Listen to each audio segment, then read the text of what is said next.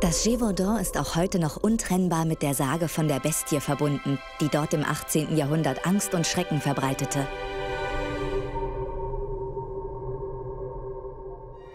Was wollen Sie mir hier zeigen? Ich zeige Ihnen einen Gedenkstein. Dort steht, Jean Chastel bezwang die Bestie vom Gévaudan am 19. Juni 1767. Es heißt immer die Bestie. Was war das für ein Tier? Es wurde doch getötet. Dass es ein Tier war, dessen war man sich sicher. Aber welches genau, darüber wurde spekuliert. Es wurden sogar Menschen verdächtigt. Im Fall der Bestie vom Gévaudan gibt es immer noch jede Menge Geheimnisse. Drei Jahre lang Morde, fast 100 Opfer. Ich begebe mich auf die Spur der schrecklichen Bestie. Natürlich nicht ganz ohne Angst.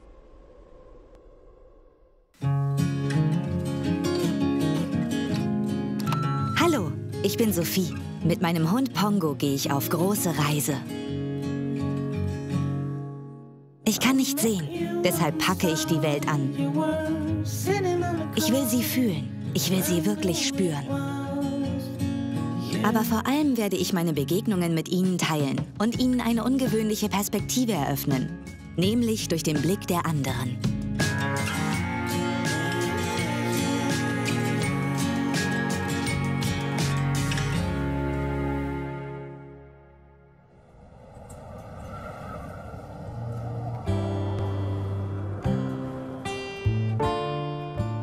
1878 hat der schottische Schriftsteller Robert Louis Stevenson, der Autor der Schatzinsel, eine 220 Kilometer lange Wanderung unternommen, die zum Großteil durch das Gévaudan führte. Selbst damals, über 100 Jahre nach den Vorfällen, war die Bestie in den Köpfen der Menschen noch sehr lebendig. Christian Brochier ist von dieser Geschichte fasziniert.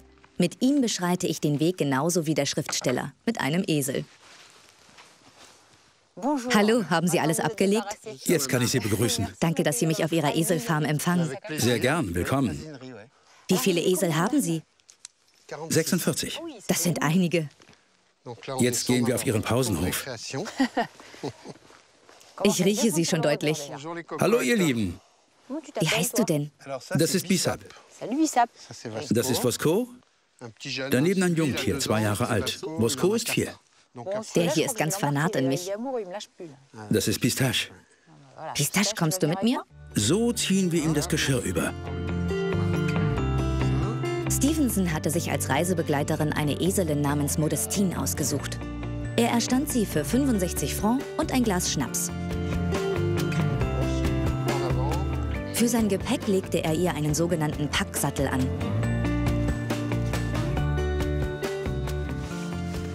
Ist bekannt, was der große Stevenson im Packsattel seiner Eselin alles verstaut hatte? Einen Schinken, einen Revolver. Klar, damals im 19. Jahrhundert wusste man nie. Und vor allem hatte er die Idee, sich aus Schaffell einen Schlafsack nähen zu lassen. Er hat sozusagen den Schlafsack erfunden. Verstehe. Den gab es damals noch nicht. Und er nutzte ihn auch als Transportsack. Darin verstaute er den Schinken, den Revolver und andere Sachen und schnallte ihn dem Esel auf den Rücken. Die Grundbefehle sind ein kurzer Zug am Zügel nach vorn, dann wird nicht mehr gezogen. Und um anzuhalten, ein kurzer Zug nach hinten. Okay, einfach ein kurzer Zug. Genau.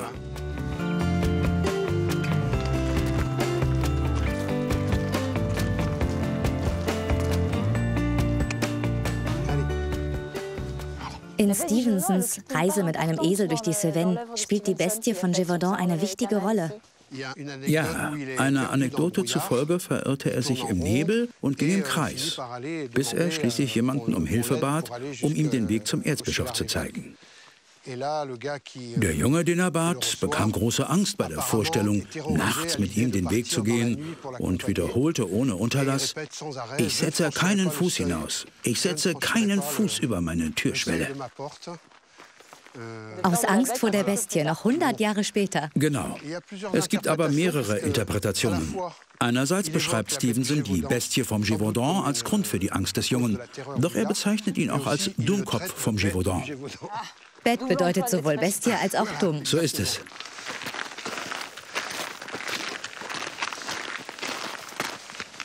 Ich lese Ihnen eine kleine Passage von Stevenson vor. Nach einer Nacht unter freiem Himmel auf dem Mont Lozère schreibt er folgendes. Ich war mein ganzes Leben hinter einem Abenteuer her. Und als ich es an diesem Morgen in einem zufälligen Waldwinkel des Gévaudan fand, ohne Norden von Süden unterscheiden zu können, in einer Umgebung, die mir so fremd war wie dem ersten Menschen auf Erden, einem im Binnenland gestrandeten, war ein Gutteil meiner Träume Wirklichkeit geworden. Das ist schön. Die Tatsache, sich völlig verirrt zu haben, bewegt ihn sehr. Cette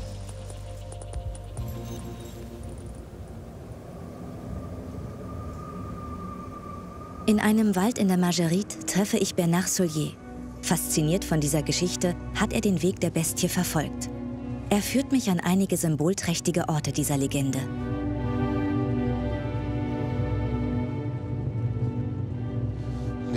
Die Gemeinden in dieser Region hatten am schlimmsten unter der Bestie zu leiden. In Bessières-Sainte-Marie, wo wir gerade waren, hat die Bestie sechs Opfer gefordert. In der Nachbargemeinde waren es sogar sieben.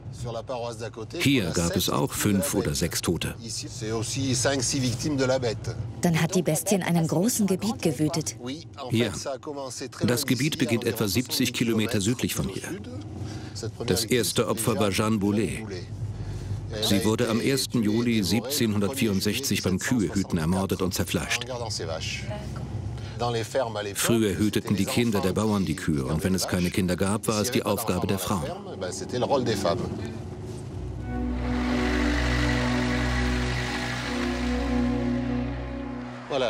Hier steht eine von zahlreichen Skulpturen der Bestie vom Givaudan. Sie thront über dem Dorf Sog.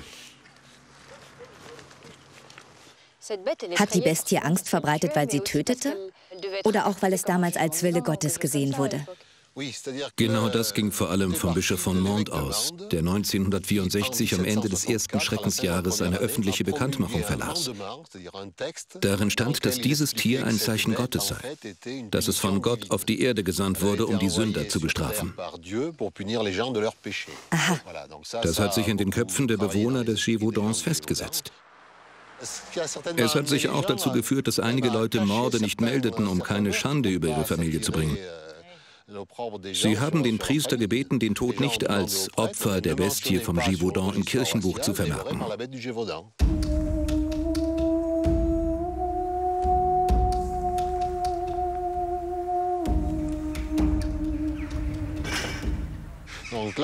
Jetzt sind wir in einer kleinen Gasse in Sog. Und hier folgen wir einer Wolfsspur, die auf die Straße gemalt ist. Sie führt uns zu einem Museum, das der Bestie vom Gévaudan gewidmet ist. Hier links geht es hinein. Hier sind Szenen nachgestellt, die die Jäger, aber auch die Opfer zeigen. Was ist über die Angriffe der Bestie bekannt? Hat sie die Opfer gerissen oder was hat sie getan? Sie hat ihren Opfern in die Kehle gebissen, hat sie getötet und teilweise aufgefressen. Es gab auch Fälle von Enthauptungen. Und wer waren die Jäger? Zunächst wurde die Armee ins Givaudan geschickt. Alle Leute aus der Gegend wurden aufgerufen, einen großen Kreis von Treibjägern zu bilden. Sie machten einen Höllenlärm, um die Tiere zusammenzutreiben. Und dann sollten die Soldaten die Bestie, die ja zwangsläufig hätte auftauchen müssen, zur Strecke bringen. Und diese Geschichte erregte bis zum Königshof Aufsehen? Ja, und darüber hinaus. Sogar in anderen europäischen Ländern war die Bestie vom Gévaudan in aller Munde, selbst in Übersee. Aber es war nichts zu machen. Die Bestie entkam den königlichen Truppen. Diesen Misserfolg empfand Ludwig XV. sogar als Infragestellung seiner Autorität. Dann hat er beschlossen, diese Angelegenheit endgültig aus der Welt zu schaffen. Er schickte den königlichen Armbrustträger François Antoine in die Region und befahl ihm, die Bestie vom Gévaudan zu töten. Er hat dann zwar einen Wolf getötet, aber das war nicht die Bestie oder nicht die einzige. Das war wohl nicht die einzige Bestie, jedenfalls nicht die richtige. Der Wolf wurde nach Versailles gebracht. Und damit war die Geschichte von der Bestie vom Gévaudan für das französische Königreich erledigt. Doch drei Monate später forderten weitere Angriffe 23 Opfer. Es schien eine zweite Bestie zu geben. Die Provinz Gévaudan liegt im heutigen Departement Lozère, das nach dem gleichnamigen Berg benannt ist. Vor vielen tausend Jahren schufen die Menschen in dieser Region die zweitgrößte Megalithenansammlung in Europa. Pongo geht voraus. Die Reiseführerin Odile Rival begleitet mich zu den Menhiren von Le Bondon. Wir sind da. Ich erkenne einen Schatten. Hier auf der östlichen Seite des Mont Lozère stehen über 150 Menhire. Menhire vermutet man eher in der Bretagne. Ich wusste nicht, dass es hier auch welche gibt. Ja, aber das ist trotzdem nicht mit der Anzahl der Menhire in der Bretagne zu vergleichen. Hier stehen nie mehr als vier oder fünf in Sichtweite. Sind die hier auch aus Granit? Ja, der hier ist aus Granit. Sie können ihn ruhig anfassen. Außergewöhnlich ist jedoch, dass wir hier nicht auf Granit stehen. Sondern? Das ist Kalkstein. Ja, Kalkstein. Und damit haben wir den Beweis, dass die Menschen, die vor ungefähr 5000 Jahren in dieser Region lebten, den Menhir extra hierher gebracht haben. All die Menhire wurden aus dem Granitfels der umliegenden Berge geschlagen und von den Menschen des Neolithikums bis zu 10 Kilometer weit transportiert. Vor uns zeichnet sich einer wie ein Berggrat vor dem Himmel ab. Der könnte als Orientierungspunkt gedient haben. Es stehen hier auch drei, vier Menhire in einer Reihe. Sie könnten ein Richtungsweiser gewesen sein. Dann hatten die Menhire also einen konkreten praktischen Nutzen? Grundlos nimmt man so eine Mühe nicht auf sich. Da die Menschen diese vertikalen Monumente geschaffen haben, mussten sie etwas für sie symbolisieren. Sie waren Teil eines Kults.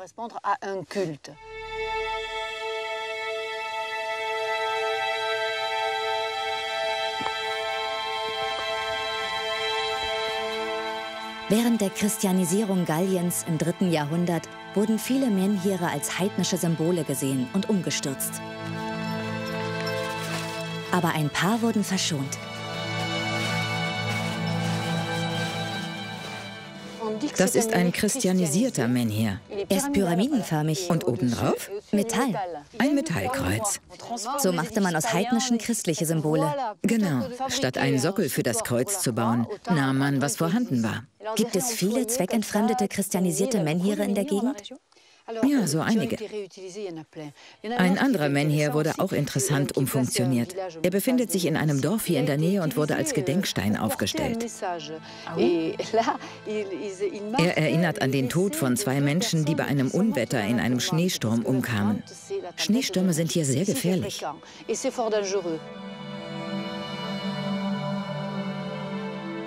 Eine Höhenlage von durchschnittlich 1000 Metern und das Klima machen das Gévaudan zu einer unwirtlichen Region. Die harten Winter erschweren das Leben der Bewohner zusätzlich. Um vor Gefahr zu warnen, haben die Menschen hier im 19. Jahrhundert ein Netz an Glockentürmen aufgebaut, das man so nur um den Mont Lozère herum findet. Franck Fabre ist Steinmetz und sein ganzer Stolz ist der von ihm restaurierte Glockenturm in seinem Heimatdorf Ultais. Hallo Sophie. Da sind Sie. Hallo. Danke, dass Sie mich empfangen. Gern, sehr gern sogar. Wo sind wir hier? Wir stehen vor einem Unwetterglockenturm. Früher mussten die Menschen ja zu Fuß gehen und bei einem Unwetter konnten sie sich leicht verirren. Dann wurden zur Orientierung die Glocken geläutet. So fanden die Leute in ihre Dörfer zurück. Ähnlich wie Leuchttürme auf dem Meer. Genau, damit kann man sie vergleichen. Gibt es heute noch viele solcher Glockentürme in der Gegend? Es gibt noch fünf, verteilt am Nordhang des Mont Lozère. Wie hoch ist der Turm? Der ist etwa acht Meter hoch. Er wurde aus dicken Steinblöcken errichtet. Die Mauern sind also richtig massiv. Wenn man hineingeht, kann man die Mauerstärke erkennen. Ja, Ihr Arm reicht da nicht aus. Stimmt. Diese Mauer ist gut ein Meter dick. Können Sie die Glocke mal läuten? Natürlich. Sie können sie auch mal läuten lassen. Dann los. Vorsicht, Stufe. Das wird ein Spaß. Wir gehen hinein.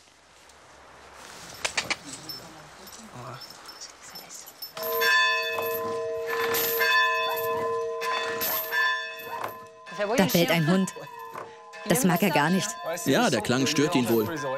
Dem Dorfhund gefällt das nicht. Möchten Sie auch mal? Natürlich will ich. Man muss sie etwas ausschwingen lassen. Genau so.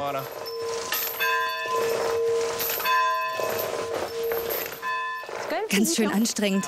Ja, es ist nicht so leicht. Dort hinten höre ich Kaminfeuer. Richtig, wir haben den Dorfofen angezündet. Gehen wir mal hin. Nun stehen wir etwa einen Meter vor dem Ofen und man spürt gleich die Wärme. Wie war das früher? Gab es einen Wächter? Die Leute blieben nicht unbedingt im Glockenturm. Sie kamen nur, um bei Gefahr die Glocke zu läuten. Bei Nebel oder bei Schnee? Genau. In einem Dorf wie diesem lebten früher über 100 Menschen. Heute sind es nur noch 20. Und damals wurde hier regelmäßig gemeinsam Brot gebacken. Dann war es eine Art Treffpunkt. Ganz genau. Schon merkwürdig dieser Kontrast zwischen der Ruhe, die das Feuer hier ausstrahlt, und warum der Glockenturm existiert, um die Menschen vor Gefahren zu schützen. Das stimmt. Gut, jetzt haben wir schönes Wetter. Die Sonne scheint und hier drin ist es schön warm. Aber man muss bedenken, dass es Wintertage gibt, an denen der starke Nord- oder Südwind einen den Schnee hart ins Gesicht peitscht. Man keine zwei Meter Sicht hat und die Temperaturen eisig sind.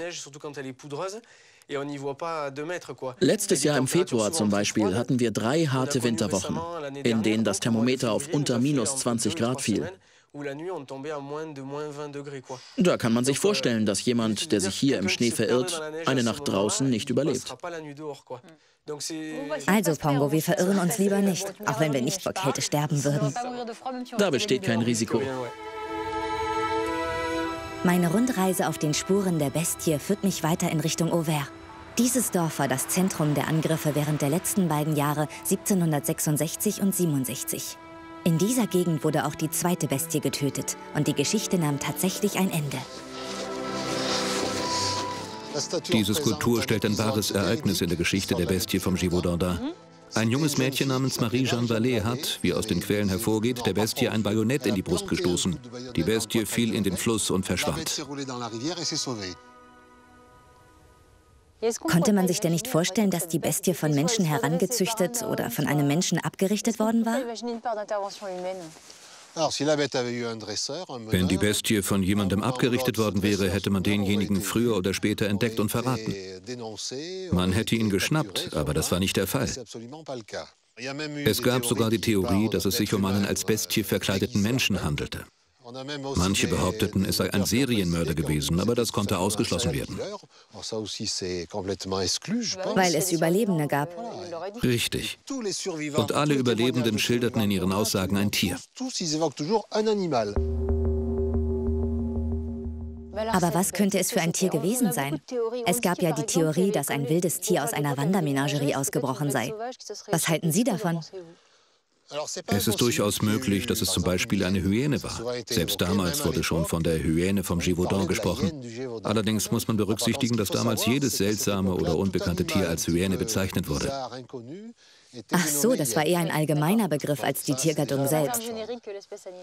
Genau. Außerdem gibt es keinerlei Hinweise auf eine tote Hyäne. Die historisch nachweislich getöteten Tiere gehörten alle zur Familie der Canidae. Es hätte also auch ein hundeartiger Hybrid sein können. Das wäre möglich. Der Bericht über das letzte getötete Tier hier bei Auvers zeigt Charakteristika, die an einen Hunde-Wolfsmischling erinnern. Das steht fest. Ich danke Ihnen vielmals. Ich hoffe, es war informativ. Sehr sogar. Es ist spannend, dass noch Fragen offen sind. Diese Geschichte brachte vor allem den Wolf in Verruf. Gleich mehrere hundert Tiere wurden für die Bestie gehalten und getötet. Um mehr über den Wolf zu erfahren, treffe ich mich mit einem Wolfspezialisten aus der Region, Sylvain Marquis.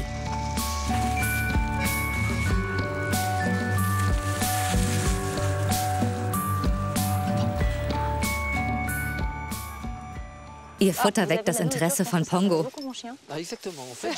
Ja, ich habe hier in der Plastiktüte einige Leckereien.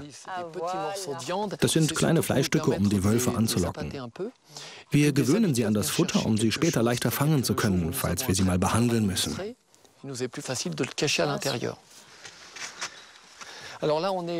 In dem Tiergehege hier vor uns leben derzeit elf polnische Wölfe. Das ist genau dieselbe Unterart, die auch schon früher in Frankreich heimisch war, bevor der Wolf hierzulande ausgerottet wurde. Ich schlage vor, wir nähern uns den Tieren und gehen mal in einige Gehege hinein. Ich folge Ihnen. Also los. Komm, Pongo, folge ihm. Die Wölfe werden sich wohl für den Hund interessieren. Als Beute? Sie sind neugierig. Aber wir sollten Pongo auf jeden Fall draußen lassen. Du wartest hier, Pongo. Ich mache die Tür wieder zu. Jetzt gehen wir am besten in die Hocke. Na, mein Kleiner? Jetzt nähert sich das Weibchen. Der junge Wolf und das Weibchen interessieren sich in der Tat für Pongo. Na, mein Schätzchen? Warum müssen wir in die Hocke gehen? Da diese Wölfe in Gefangenschaft leben, haben sie Angst vor uns, wenn wir aufrecht stehen. In der Hocke wirken wir auf sie nicht so groß und dann fürchten sie sich weniger. Ich versuche sie anzulocken. Mal sehen, ob sie sich nähern.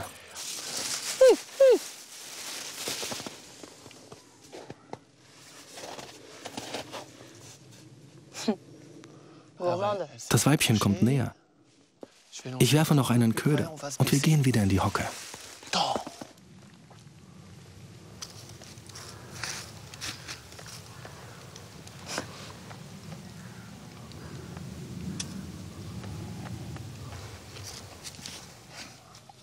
Sie ist keine zwei Meter entfernt.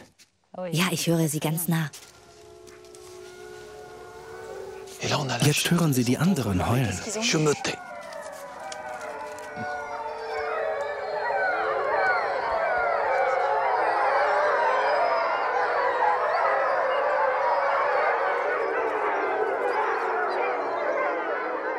Wieso haben sie alle gleichzeitig angefangen zu heulen? Durch Heulen festigen die Wölfe ihre Zugehörigkeit zum Rudel. Wenn es Spannungen im Rudel gibt, führt das nicht zu Kämpfen, sondern zu gemeinschaftlichem Heulen. Verstehe. Um Spannungen abzubauen, heulen sie. Genau. Geht dem Rudel der Tod eines Wolfs nahe? Nun, wenn bei einem Wolfspaar einer der Partner stirbt, kann es vorkommen, dass man vom überlebenden Tier einen ganzen Tag lang ein lautes, klagendes Heulen hört. Dieses Heulen wird von den anderen Tieren des Rudels aber nicht mit angestimmt. Kommen Sie mit. In dieses Gehege können wir tiefer hineingehen. Das ist das Gehege der mongolischen Wölfe. Meinen Sie, die Bestie vom Gévaudan war ein Wolf? Ich glaube, dass man bereits 1764, zu einer Zeit, in der es noch sehr viele Wölfe gab und in der man zehnjährige Kinder allein und ungeschützt losschickte, um Schafherden zu hüten, dass man damals schon wusste, dass Wölfe Menschen nicht angreifen. Man kann davon ausgehen, dass Wölfe nur Vierbeiner jagen und dass Zweibeiner, also wir, in ihrem Beuteschema nicht vorkommen. Die Bauern damals kannten Wölfe. Sie wussten, wie sie aussahen. Sie sprachen von der Bestie, weil sie das Tier eben nicht als Wolf identifizieren konnten. Doch in dieser unsicheren Zeit hatte man leichtes Spiel. Es war einfach, eine junge Schäferin zu überzeugen, das war die Bestie vom Gévaudan. Ich persönlich glaube nicht, dass die Bestie vom Gévaudan ein Wolf war.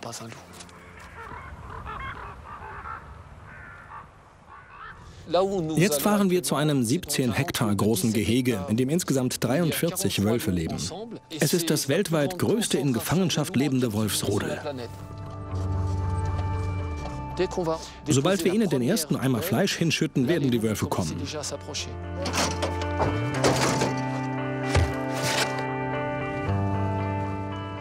Die Wiederansiedlung des Wolfs scheint auch heute noch Ängste zu schüren. In Frankreich kann man nicht von Wiederansiedlung sprechen. Seit 1992, also seit über 20 Jahren, wird eine natürliche Rückkehr des Wolfs beobachtet. Heute leben etwa 250 Wölfe in Frankreich, die eigenständig zurückgekehrt sind und sich hier vermehren.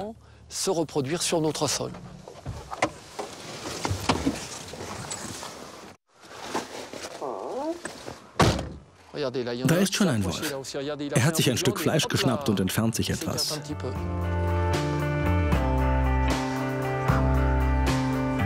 Seit der Ausrottung der Wölfe in Frankreich im Jahre 1940 werden Viehherden nicht mehr vom Menschen gehütet. Heutzutage sind sie also anfälliger für Angriffe durch Raubtiere. Gibt es denn auch heute noch böse Geschichten über die Wölfe in der Region? Was das Departement Lozère angeht, so wurden tatsächlich seit letztem Sommer auf dem Causse Méjean Wölfe gesichtet und auch Wolfsangriffe auf Viehherden verzeichnet. Also ganz in der Nähe. Und so werden wieder die alten Gerüchte und Geschichten hervorgekramt. Kindern wird Angst gemacht. Seit 250 Jahren also keine Weiterentwicklung. Die Rückkehr des Wolfs nach Frankreich lässt die alten Ängste wieder aufleben und die Spuren der Bestie sind immer noch nicht vollkommen ausgelöscht. Es war schön, bei meiner Reise ins Gévaudan dem Weg und den Worten Stevensons gefolgt zu sein. Ich bewundere die Solidarität der Glöckner, die bei Unwetter die Glocken läuteten. Und ich denke an die Wölfe, die zu Unrecht als Bestie beschuldigt wurden.